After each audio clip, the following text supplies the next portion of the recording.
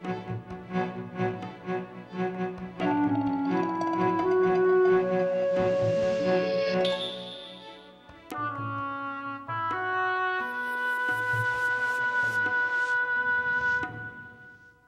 name is Jack Steinberger, and what am I? I am a retired physicist. You imagine that we, old and uh, a little bit particularly successful people, might uh, have a message for the young people. But I think if we were successful, that may be in part because we did some thinking in our lives but it may also be in much larger part due to luck. And uh, I think that uh, one thing which is very sure is that uh, older people are not as clever as younger people. And I think that these younger people will probably be better able to figure out what's good for them than I can tell them. What I wanted to do was to be a doctor but there wasn't enough money in the family to send me to medical school.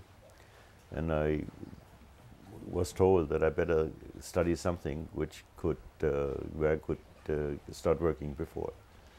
And so I had a nice chemistry teacher in high school. And I, uh, I like working with my hands also. So I took chemical engineering as a subject.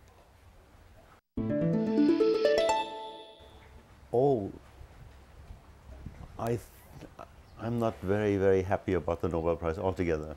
In the sense, well, I have some personal benefits from the Nobel Prize. I have, it's, uh, it's very mediatic. The uh, prizes in science are not uncommon. There are many prizes which are given, and I have maybe a few other prizes. But the Nobel Prize has a particular notoriety in the uh, in the public. This is due to some mediatic evolution. And I'm also a little bit hostile to it because I think it is not really fair to imagine that modern science or medicine advances because of the uh, particular contributions of a few individuals.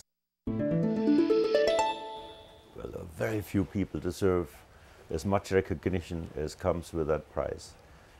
I don't mind the prize, the money, in fact I gave away to institutions, but the, uh, the notion that I'm better than somebody else is very difficult for me to agree to.